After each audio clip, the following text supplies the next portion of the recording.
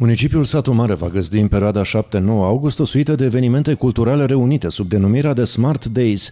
Maratonul cultural va începe joi 7 august la ora 19 la sinagoga de pe strada Decebal din Satu Mare, unde va avea loc un recital susținut de Betty Barbera și Mariano Castro. Suita de evenimente va continua vineri, 8 august, în grădina Romei cu recitalurile susținute de trupele Omen din Ungaria și Altar din Cluj-Napoca, respectiv de interpreții Tavi Bud, Adina Ignat și Sorin Bălaj.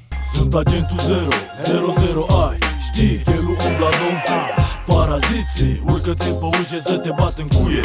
Îmi place că porți cât încât pot să fac oh, Scutură patru țigări de tutun. Vreau să văd răsăritul la Neptun după primul fum. Ce frică că ai trăit mult prea multe zile acidulate. N-ai să mori, din viață scapă cine poate. Accidental m-am accidentat la modul queen Sport extrem ne place să ne prăbușim Evenimentul cultural continuă sâmbătă, 9 august, cu concertul susținut de Paraziții, apoi pe scena din grădina Romei vor urca Black River Blues Band, iar seara se va încheia cu evoluția a doi DJ, Gabi și Pepe.